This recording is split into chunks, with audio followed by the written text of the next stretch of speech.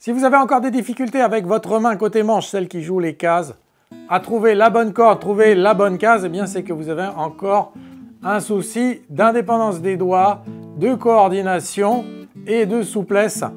je vais vous montrer un exercice super simple, super basique qui va vous aider à obtenir l'indépendance absolue. Il n'y a pas besoin de jouer de notes, vous avez juste à placer vos doigts. On va les placer sur la troisième case de la première corde, l'index. Ensuite, vous allez poser le deuxième doigt sur la quatrième case, ainsi de suite. Le troisième doigt sur la cinquième, le petit doigt sur la sixième. Alors le pouce doit être placé derrière le manche comme ceci. Et donc, le but, c'est de garder à chaque fois tous les doigts posés, donc qui reposent contre le manche, ils appuient sur la corde et vous allez lever simplement un seul doigt à la fois.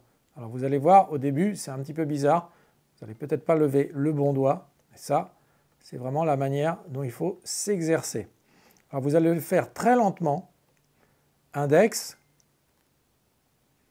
majeur, annulaire, un peu plus difficile celui-là, auriculaire. Donc, vous allez lever avec moi l'index, numéro 1, numéro 2, numéro 3, numéro 4, numéro 3, numéro 2, numéro 1. Alors vous répétez cet exercice tous les jours pendant une à deux minutes, pas plus, ça suffira. Si vous le faites vraiment tous les jours, eh bien ça va faire son petit effet, je vous le garantis. Allez, si vous êtes à l'aise, on passe à un exercice un petit peu plus complexe où là, on va lever deux doigts en même temps. On va lever en même temps maintenant deux doigts. Doigts 2 et 4 en même temps. Et on les repose. En même temps, on va lever les doigts 1 et 4. 1, 4.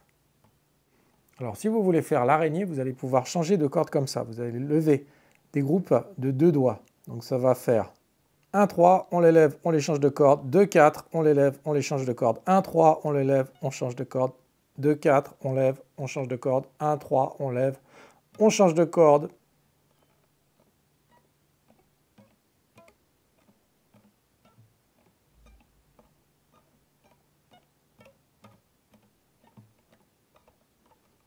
Allez, je vous mets au défi, vous allez le faire tous les jours, cet exercice pendant une semaine. Et vous allez revenir me voir, vous me dites dans les commentaires si cet exercice vous a aidé. Et bien sûr, vous vous abonnez à la chaîne Ro Guitar. À très bientôt. Bye bye.